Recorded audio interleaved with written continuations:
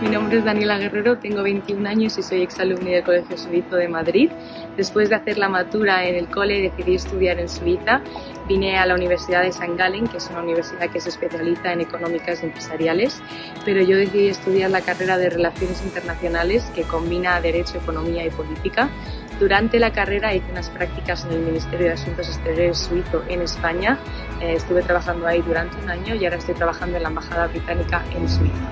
Creo que el Cole Suizo, aparte, bueno, a través de los idiomas, me ha brindado la oportunidad de estudiar en el extranjero y de tener todas estas experiencias que estoy teniendo tan valiosas para, para mi carrera y mi futuro profesional.